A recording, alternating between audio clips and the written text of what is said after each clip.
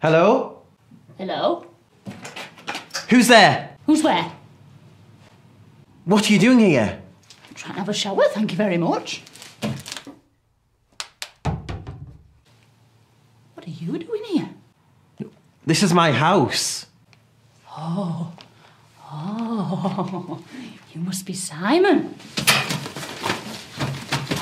Got something for you, Simon. It's a poem.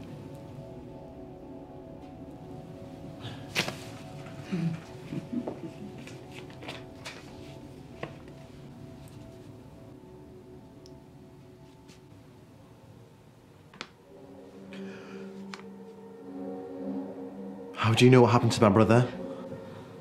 I know all about it, Simon.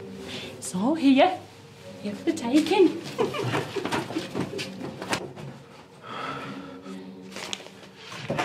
You need to go! Go?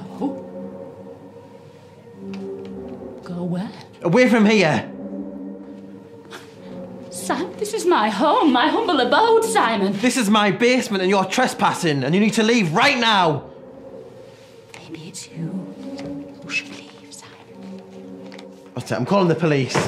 Oh, I'm sure the police would love to know all about your brother, Simon.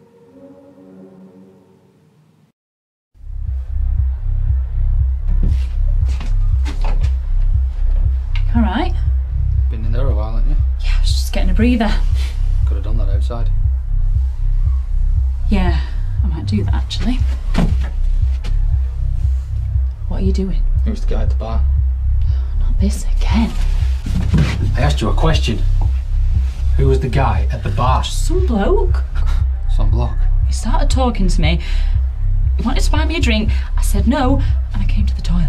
Did you get his number? Why do we always have to do this? You think I'm stupid? No, You're taking me for a fool, aren't you? not. You're lying. What's the truth? Nothing happened.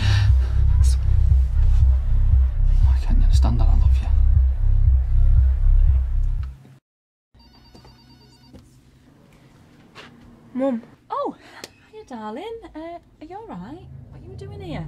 Kate's mum dropped me off. Oh, did she? It was nice of her.